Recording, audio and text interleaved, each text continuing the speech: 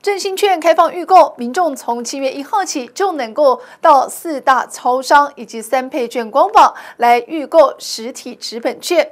而第一波的预购梯次是从七月一号到七月七号的晚间十点。而此外，民众还能够透过信用卡、电子支付绑定等多重的管道来预购振兴券。因为预购的方法有好几种，因此民众第一天实际到超商预购的人数是寥寥可数，不用排队。就可以轻松完成。民众走进超商准备预购真心券，真心券预购开跑第一天，民众可就近到超商机台预购，也可透过信用卡或电子支付绑定多管道的请领方式，也让预购第一天超商预购人数不如预期。部分民众也保持观望的态度，要多比较什么方式最划算。我还没有预购真三倍券。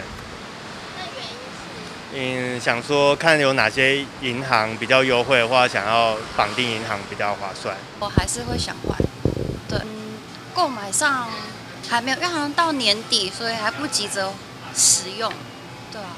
等下就去啊。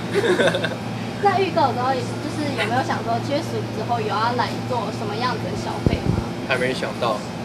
抢攻振兴券商机，百货及饭店等业者则顺势推出使用实体券满千送百，或是不限金额使用振兴券消费就送价值九千元的住宿及餐饮抵用券等，让民众除了振兴券，还能够获得更多额外的好康优惠。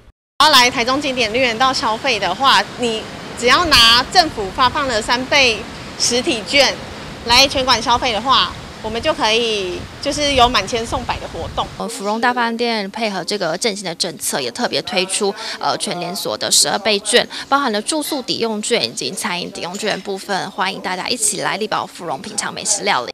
一波超商预购时间只到七月七号晚上十点，七月十五号后将开放民众到邮局领取实体券。政府透过多管道发放振兴券，促进消费，来分流排队和作业人潮。民众若不想人挤人领取振兴券，不妨就近到超商预购，减少排队人潮和花费时间。